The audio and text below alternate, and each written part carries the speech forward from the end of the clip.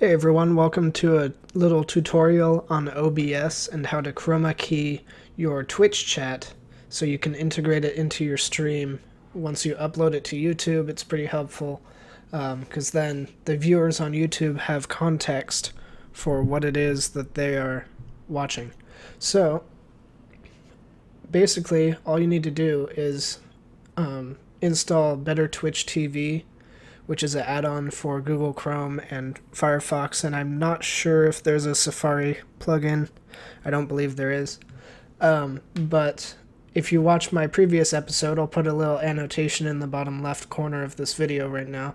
Um, if you click that down here, then it'll take you to my how to install Twitch TV um, little video and that really helps because if you don't know what I'm talking about in this video then you need to watch that one. Um, so basically, once you install Better Twitch TV, you will be able to have this dark layout for your chat, which also enables you to chroma key it so you only have the text with the transparent background. So I'm going to show you how to do that. Um, first off, what you want to do is you go to the settings of your chat here, and you want to make sure that you click the black chat, the chroma key black chat. So you click that, it'll change for you. And now you'll be able to chroma key all of this. So let me type in a message here. So I typed in, hey guys. So if I go back to OBS, go to where I have the screen capture of that window of the Twitch chat, and I click properties, then I can use a color key down here so that I can choose a color that it will make transparent. So if I click that,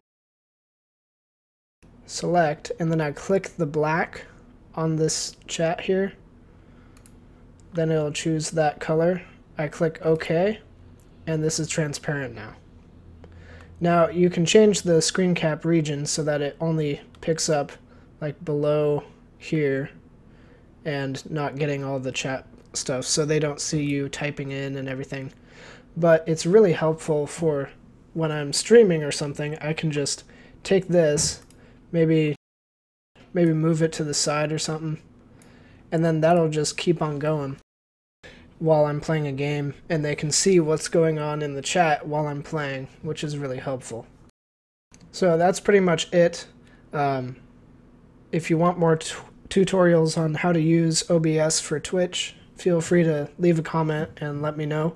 Um, but if you still have no idea what I'm talking about when I say better Twitch TV, and that is what you need to do this this way, then go watch that other video. I'll put another annotation for you to go to really quick.